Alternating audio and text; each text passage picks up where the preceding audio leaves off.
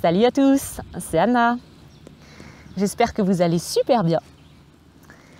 Moi, j'avais envie de vous remercier aujourd'hui pour commencer. Merci d'être là. Merci de, de, partager ces vidéos avec moi. Merci pour vos commentaires, pour vos likes. Merci de me donner la possibilité d'exprimer ce qui est important pour moi. Merci de me donner la possibilité de changer les choses à mon à mon échelle à moi, et peut-être de vous inspirer, peut-être de vous aider.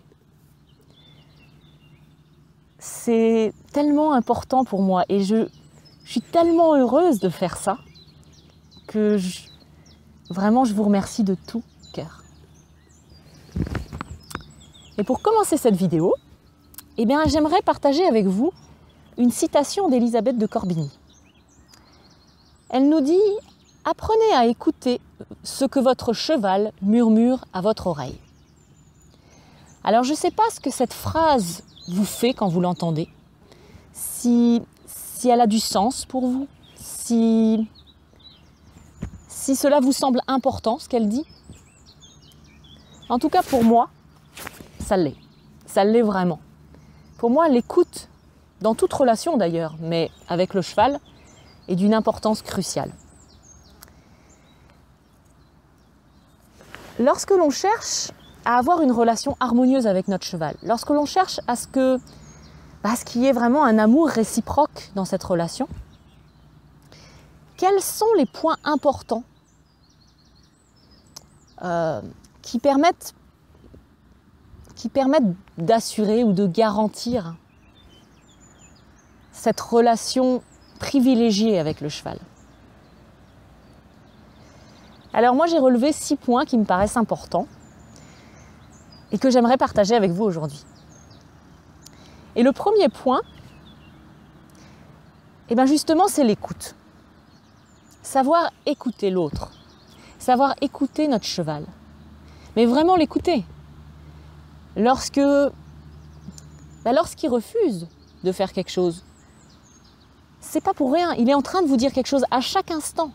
Ou lorsqu'il Lorsqu'il joue, il vous dit aussi quelque chose. Dans tous les, mouvements qu'il fait, il vous dit quelque chose. Et c'est important, je pense, d'apprendre petit à petit à l'observer et à de plus en plus, du coup, communiquer avec lui face à ce qu'il nous dit. Mais pour ça, il faut commencer à l'écouter. Et lui, pour lui, ça lui donne un tel sentiment de, de joie de se sentir pris en considération comme ça, de se sentir écouté dans ce qu'il est en train de nous dire, de se sentir écouté dans ses besoins, de se sentir écouté dans, ses émotions, de se sentir écouté dans ses limites. C'est tellement important pour lui. Le deuxième point important, eh ben, il est super logique. c'est le fait simplement que si vous souhaitez avoir cette relation d'amour avec votre cheval, il faut tout simplement montrer l'exemple en l'aimant lui inconditionnellement. Aimez votre cheval. Aimez-le quoi qu'il fasse. Il est là pour vous. Il n'est pas là par hasard. Il est avec vous pour une raison. Aimez-le pour ce qu'il vous apporte, pour ce qu'il vous montre sur vous, même si c'est désagréable, parce que ça peut l'être. Hein. Je ne dis pas le contraire. Mais il y a des fois, vous vivez aussi des trucs super et il ne faut pas les oublier, cela. Aimez-le. Aimez-le comme lui, vous aime. Le troisième point, c'est le fait de comprendre votre cheval. Faites l'effort de le comprendre. Faites l'effort de le comprendre dans son fonctionnement, dans ses besoins, dans ses limites. C'est tellement important pour lui de sentir que vous essayez, que vous essayez de le comprendre, que vous essayez de, faire quelque chose avec lui, mais, mais pas de le forcer, pas de le contraindre, mais que vous essayez de votre mieux. C'est vraiment, ça lui amène du bien-être, ça lui amène de la joie. Se sentir compris, c'est d'une grande, grande importance à ses yeux. Moi, je l'ai vécu de nombreuses fois, à chaque fois que bah, quand quelqu'un me dit je comprends pas, le cheval ça va pas, je me heurte à lui, et que simplement le fait de se poser, de l'observer et de dire à la personne ton cheval, il fonctionne comme ça. Le cheval, il se met à mâchouiller. Le cheval, il se met à bailler. C'est juste des signes de libération du stress. Il se sent bien. Parfois, il peut même s'endormir. J'ai déjà été face à des chevaux qui, quand on était en train de parler d'eux, à essayer de les comprendre, ils s'endormaient. C'est déjà arrivé ça. C'est génial. Vous voyez à quel point ça le met dans un état de bien-être et de sécurité. Et le bien-être et la sécurité pour un cheval, c'est le B à bas. C'est ces deux besoins principaux qui font qu'il a envie de rester à un endroit, qu'il a envie d'être avec les gens qui sont là ou les êtres qui sont là. Le quatrième point important à mes yeux, c'est le fait de prendre le cheval en considération en tant qu'individu à part entière. Il n'est ni inférieur ni supérieur à nous, il est juste différent. Nous sommes tous uniques, nous sommes tous différents, il n'y a pas à comparer. Et pouvoir le prendre comme il est. Et savoir que il est intelligent, il est doué d'intelligence, il est doué de réflexion. Il a une conscience, il a une conscience, il a conscience de tellement de choses, le cheval, bien plus que nous, en réalité. De pouvoir considérer qu'il est, que c'est un être spirituel également comme nous, qu'il a une âme, qu'il est capable de se connecter à quelque chose de plus grand que juste ce qui est là. De pouvoir aussi se, se rendre compte qu'il a des émotions, qu'il a des sentiments. C'est vraiment d'une importance cruciale à mes yeux également. Et quand il sent cela, quand il sent qu'on est, qu'on a conscience de ça, ça lui amène beaucoup, beaucoup, beaucoup de joie. Vous pouvez me croire. Le cinquième point dont je vais vous parler encore ici, c'est le fait d'être authentique, transparent, cohérent. Le fait d'exprimer ce, qui, ce qui se passe à l'intérieur de vous. Que vous soyez bien ou moins bien, c'est pas grave. Le cheval, il peut pas être autrement qu'authentique, lui. Lui, il sait pas cacher ce qu'il est réellement. Il sait pas faire semblant.